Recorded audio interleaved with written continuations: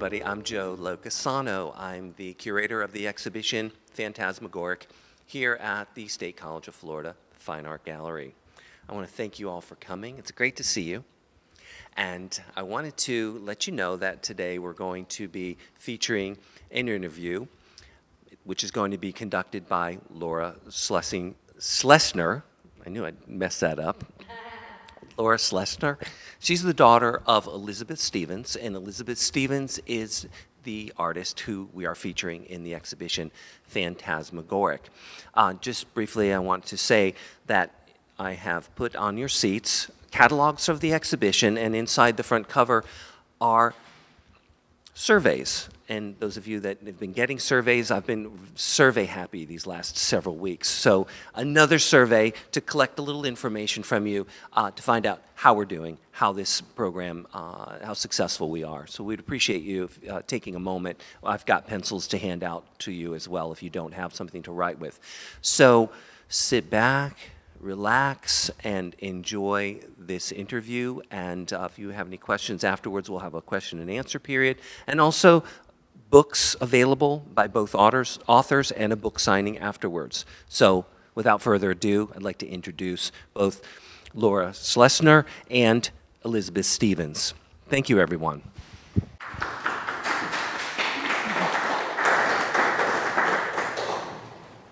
Well, welcome everyone, and thank you so much for coming on this Thursday afternoon. And uh, this is a, a special uh, moment uh, for us both. I'll, I'll speak for us if that's, uh, good. but um, to be able to present in this, this wonderful exhibition that, from my personal perspective, highlights so many different aspects of my mother's work and things that have interested her from printmaking to art history to writing. Um, with this project that we're going to present today, we're giving a little background, a little, we could say a little bit of a historical grounding in work that my mother did uh, in the early 60s.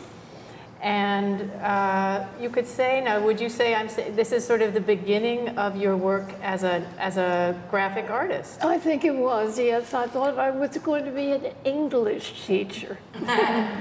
I almost was, but instead, uh, I was trying to make money. I was very poor, and I tried to sell my drawings, and I could get ten dollars for a drawing, and that was good. Yeah.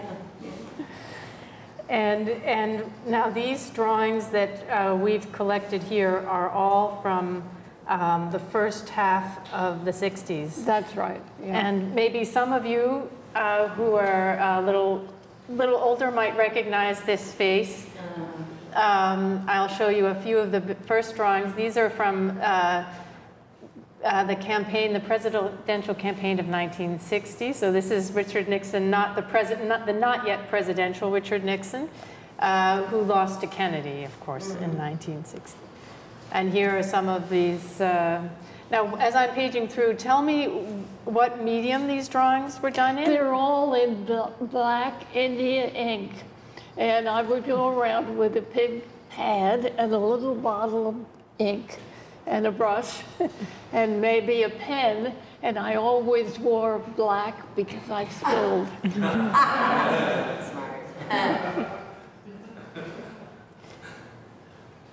so, yeah, these are the, some of the people.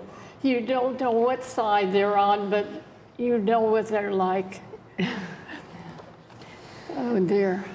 And uh, these are images. Now, some of these images, tell me how you source these images. These are images here from the Cuban, Cuban Missile Crisis. Now, That's right. Uh, well, I got. I thought I could sell these drawings to magazines because it was a very big, you know, Cuban business Crisis. So I went to Florida. I rented a little car and I drove around of course, I didn't have any security. I was nobody. So I, I got to Cape Canaveral and I couldn't get in.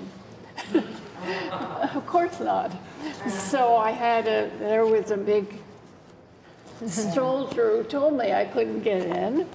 And uh, so I drew pictures of the outside. that was it. I can't, I would, You yeah. can't always see all of these. Yeah. If you, these are images, this is the, I'm showing you images from the print PDF. So at sometimes the images that go across the page are a little broken up because the designer uh, had them so that that when you actually open the page, it, it actually goes across the full page. But-. So what, what kinds of magazines were you working for at the Well. I worked for small magazines that used drawings, not photographs.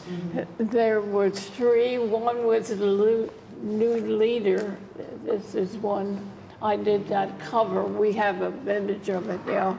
So of course that's Martin Luther King. No, I think, I think this is the, this was the Ole Miss.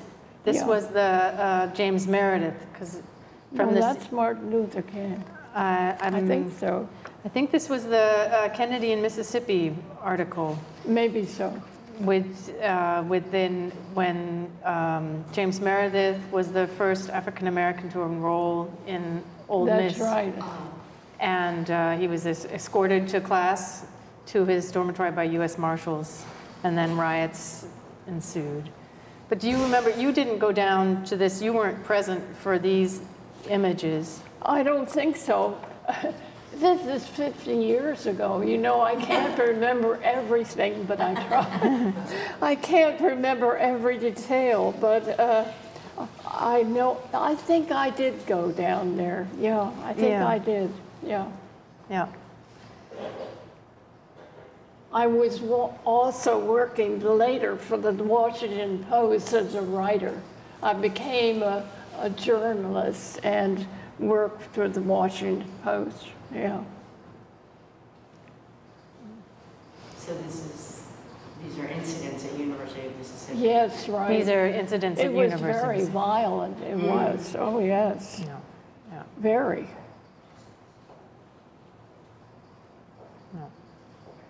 Yeah. And, and what other magazines did you work for? You worked for The New Leader, which was a, a more uh, liberal was, leaning? Yeah, and then there was uh, the National Review, which was to the right.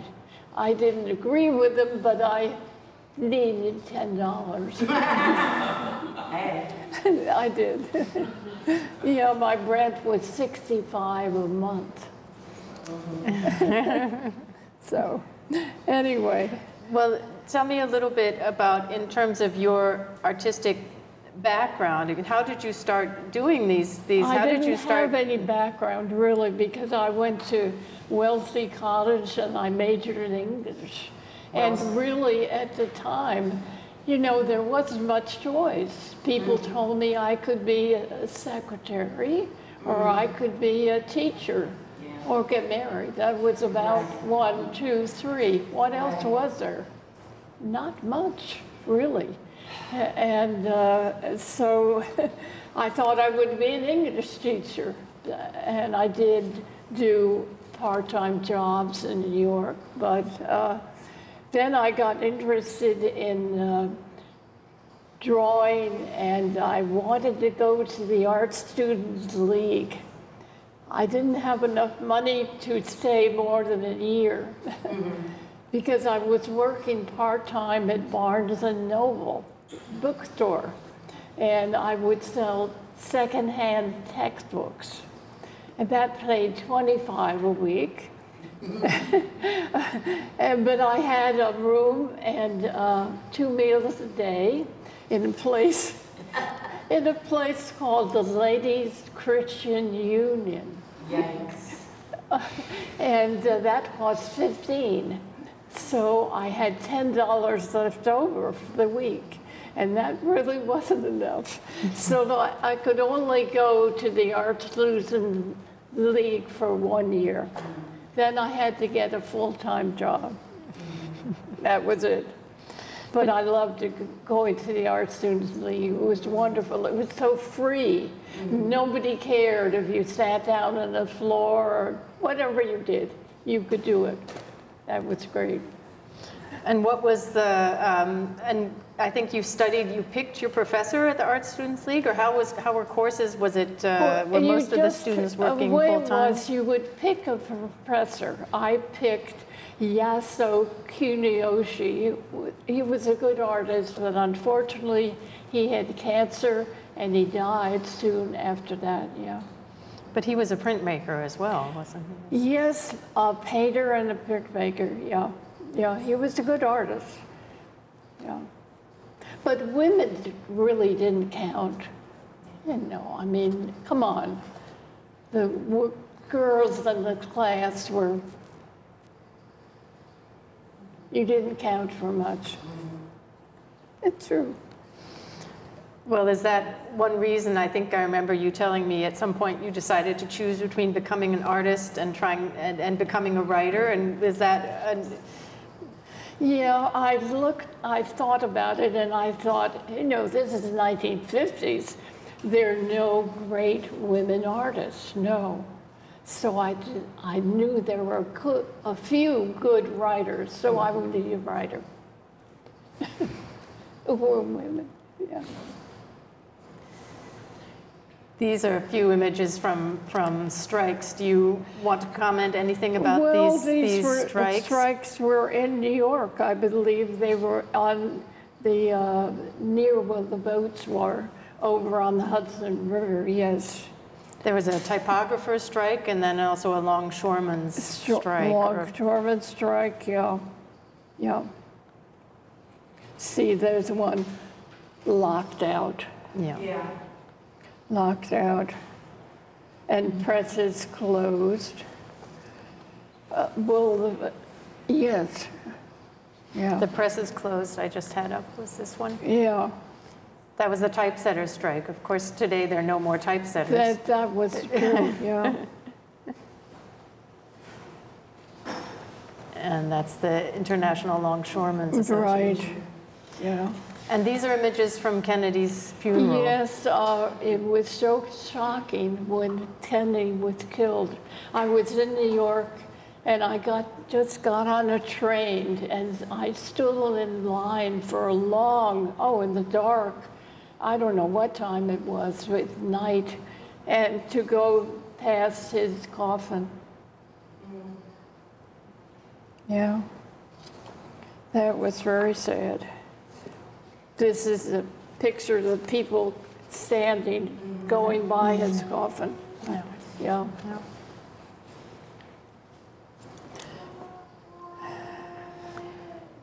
And then the, these are images from the trial of Lenny Bruce. Oh, yes.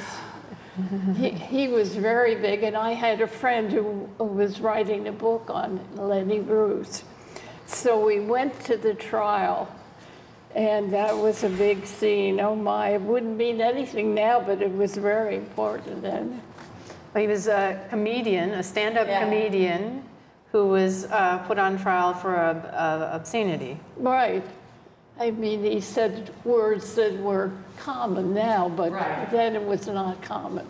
If you, if you go online for younger generation and look up Lenny Bruce and see some of his comedy stunts, it will be like Saturday Night Live now, but in the 60s, this is, I think, also 63, if I'm not. Yeah, yeah. Um, so. And this was a very important series to you. I think it would be good for you to talk about the Dola series and well, what that I was meant for you. sitting in my your- little uh, fifth floor walk up, and I read in the New York Times about a, a disaster in West Virginia in a, a little town called Dola. And uh, I think 27 people been killed. And somehow that I, I wanted to go there, so I got on the plane and I went there, and no one else was writing about it. I mean, I was just nobody anyway. But uh, they were very nice to me. They let me go down in the mine. And I went down in the mine and I drew pictures down in the mine. Yeah, like this one. Hmm. Yeah. can go back. And it was, it was so sad. I mean, you know, the people were treated so badly. their pay was so bad. And, but it's the same today, really. They're still bad minds. Yeah, bad, dangerous minds. Well, in Yeah, America and, and abroad, of Yeah, course. it hasn't changed a lot, really. It has not changed. But this was, I'll just show this in, um, this was your, the first article then of yours that was published uh, with a journalistic article, not only the illustrations, but this was really the beginning of your, of your professional journalistic writing Right, I wrote about DOLA in this magazine, and they printed some of my drawings. When was that? What, what's the date of that? Um, I believe that was 63 as well, Okay. yeah. There have been many mine disasters since. It has not changed, really. Not much. And how about these images from New Orleans? I think I was working for the Washington Post and I had maybe a weekend off, and maybe it was a long weekend. And uh, so I went with a friend to New Orleans. I'd never been there. And I, I say I loved it. I loved going to Preservation Hall and seeing all the musicians, and oh, it was very exciting, I thought. I loved the music too. Well, That's So explain, now, how did you get, how did you go from doing this one article about DOLA to working for the, uh, for the Okay, Washington Well, I was in graduate school at Columbia, learning how to be an English professor, even though there were not many women who were in that field either. And I suddenly thought, this is not it. This is not it. And I spent two weeks in the journalism library at Columbia, and I moved out and went to Washington, and I got a job for a little weekly magazine or newspaper, actually. Uh, but then I got a job to be art worthy of the Washington Post because nobody else wanted a job. That was why I got it. no man wanted a job, and it only paid $75 a week. So it, sounded good to me. And I thought I'd come up in the world because I had been living in a Fitzmore walk-up for I don't know how many years in New York. And in Washington, I moved to a, a nice apartment. It had a pool on the roof. and I thought, oh boy, I've really made it. Because I like to swim. But anyway, it was nice. You're, you're right in Florida. Yeah. You, you fit to Florida. Well, um, one question with all of these images and these journalistic images, did you have a television? I mean, were some of these that maybe where you weren't right there? Did you I source some I images from television? television in New York. I did have one in Washington because I was working for the Post and my hours were four to midnight. Mm-hmm. And I couldn't go to sleep somehow when I got home. And there was a program on television called Creature Features. and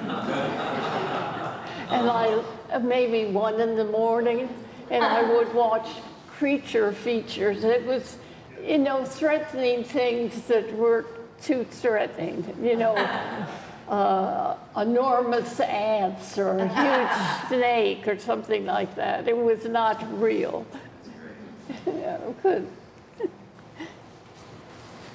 and uh, Now, some of these are from tr- uh, trips that you took where you, you interviewed, you traveled throughout the South and West Yeah. Texas and Mississippi. I had friends in Texas, and I, I'd never seen an oil well. Well, of course, I got out and I had to draw pictures of oil wells and little homes, and that was new to me too. And uh, I sort of draw, would draw everything I saw. Any place I could stop, I would draw something. And these industrial uh, Yeah. scenes too, are these from all over the US or where are these? I think they're around Washington or uh, around uh, Texas or maybe Louisiana. Yeah, different places. Yeah.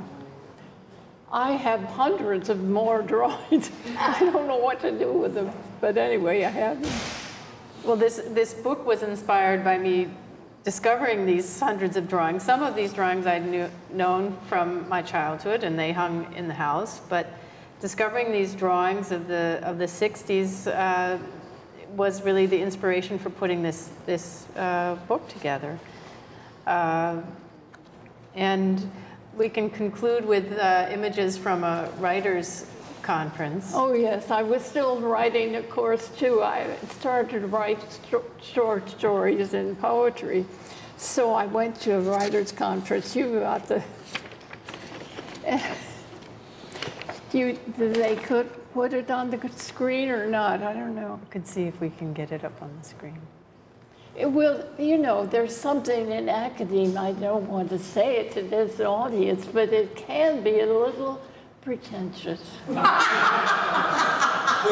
I mean, it's just a little, but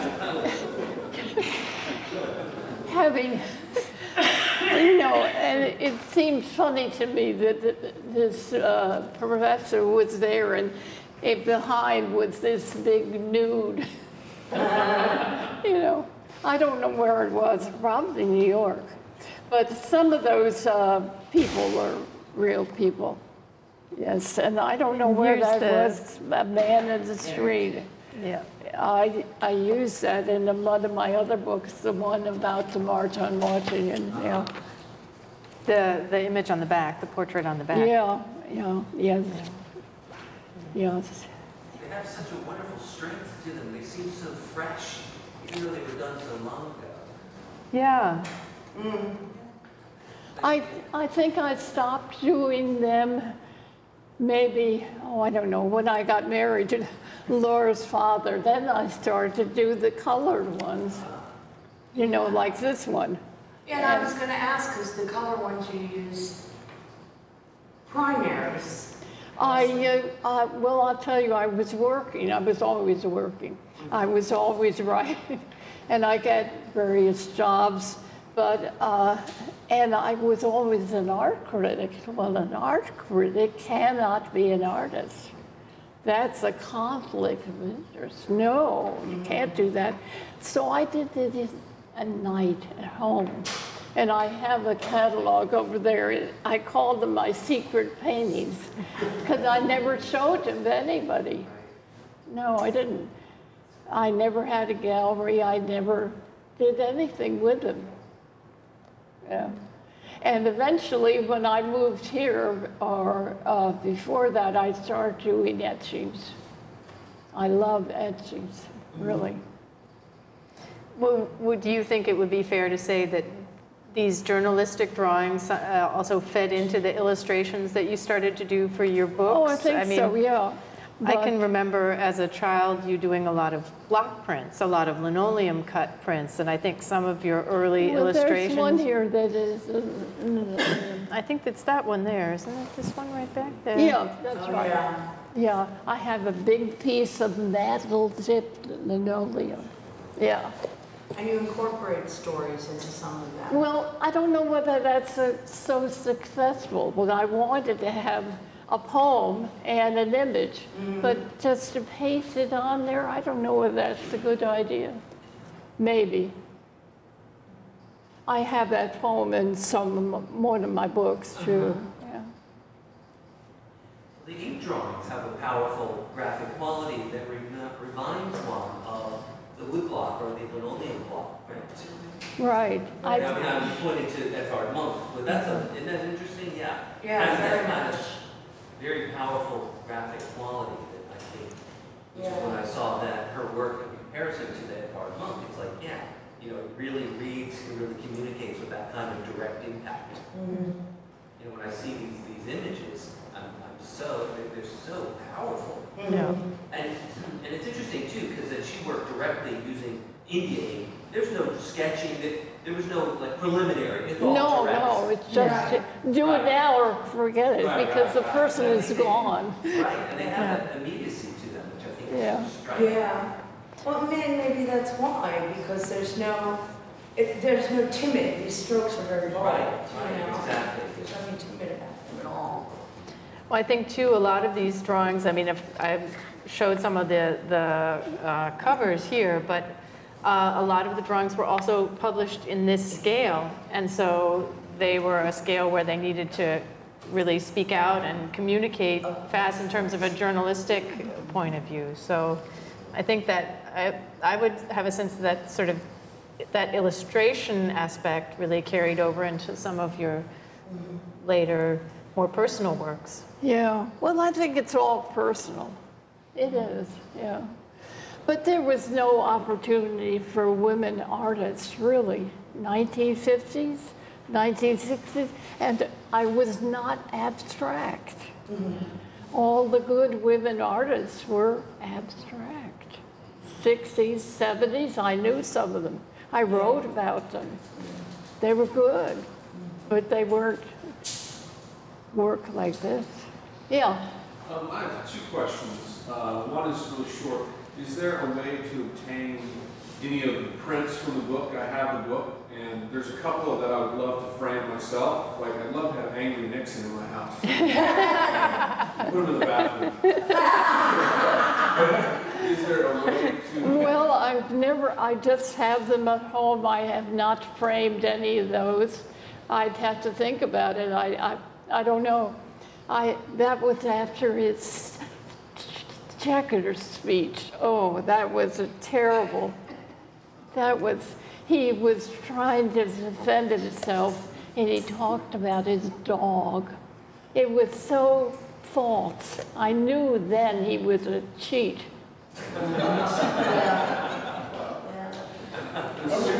I, I can't answer. I don't know. I probably haven't. 60s is an era of historical interest for me, and always has been. And uh, I like those because they're a very kind of individu- individualistic and artistic interpretation of like major events that I've talked about. I, I suppose I could have a show of those sometime. I have a lot more than are in this book. Yeah. My other question was, uh, you know, looking back on that formidable time for yourself and for the country, we briefly spoke before, and you mentioned, uh, you know, the 60s is a cultural revolution, which of course it is, and I'm curious as you look back, um, how do you understand that period now?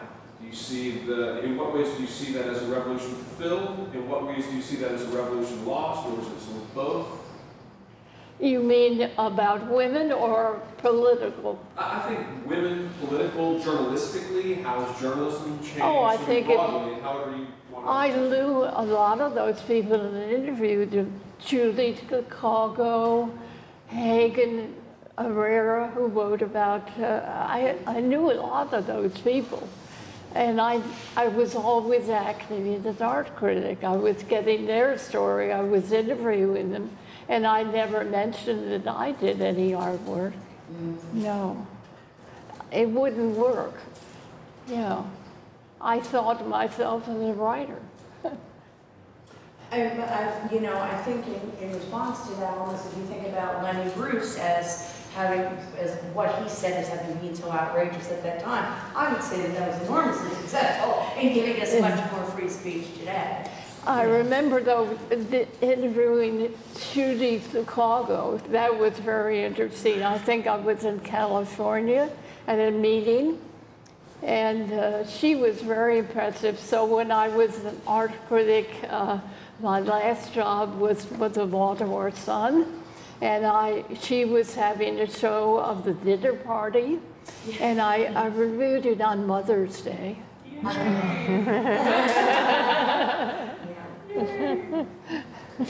Yeah. Can you tell us a little bit about the Dinner for the Dead story? Well, it's a story. It's all made up, of course, it's not true. Uh, it's about a woman who is a nice woman and she is busy and she has a house and family and everything, but she gets a message that uh, people are coming for dinner and they're all her dead relatives. And she has to cook a big company dinner, roast beef, all sorts of nice. And she's she's sort of glad to see some of them, not oh, not all of them, but most of them she's glad to see, and they have a good dinner, and uh, then they go. Yeah. Yeah, that's very striking. Thing. I lo- uh, yeah, that book has some strange stories in it. Well, I have other strange stories. There, if it's one story, it's about a plant, and it's told by the plant. Yeah, a plant, a nice plant. Fascinating too between being the sort of the, the narrator and, and telling the story from both the feminine and masculine gender, I've noticed, um, and, and sort of playing different roles yourself as, as the, the storyteller. Was that therapeutic for you in some way? Or was it Probably, but I can't say why. I, that's why I never wanted to te- uh, teach creative writing because I couldn't say anything. What could I say? I couldn't tell you how to do it because my stories are like dreams. They come. They come in the door. They stand right here and they say, Write me. How could I say that in the class? It would be sappy. It wouldn't help anybody to write a story. No, it wouldn't. I would rather teach Frenchman English. well, at least it's set. and I did teach that, but I wasn't a good speller. That was bad. I would write something on the board and I spelled it wrong, and then I had to erase it. anyway, so there you go.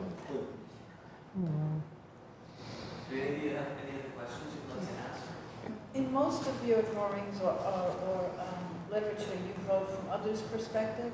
Have you ever written from your perspective on given issues that were occurring at the time? It is a what? Did you ever give your opinion on the issues that were occurring at the time? Like either cartoon-wise or just in in literature? Well, I'm not a, a really a political writer. I'm not. I have opinions, obviously. I wouldn't do the coal mine or something if I didn't. But I am not a political writer, really. No, I don't think so. Uh, I could be, but uh,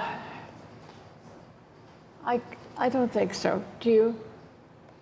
I don't think, I don't think you're an analytical, uh, I, I think you're, uh, I think that's not your, your main uh, pursuit in terms of your writing.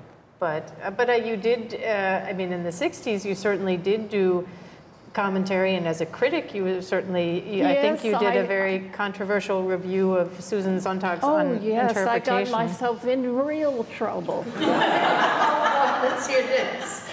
This friend of mine, he was writing for the New Republic, and he said, "You want a job? Sure, I take any job." and I reviewed uh, Susan Sontag's book, first her first book. It was called Against Interpretation. Very famous book, and she was big, very big. Yeah. And I did a review that was not favorable. Oh, they never forgot it. they all hated me. Right. Uh, no, true, true. But I think also in, in Baltimore, there are a number of articles that you wrote that were, um, that were not just about I uh, know, uh, reviews of art shows, but that, that uh, the well, Peabody I was collection. the architecture critic too in Baltimore, and they were building a lot of new buildings. And they made an addition to the Baltimore Museum of Art. And it didn't fit. And I said so. They didn't like me, and I came to the opening and they said, There she is.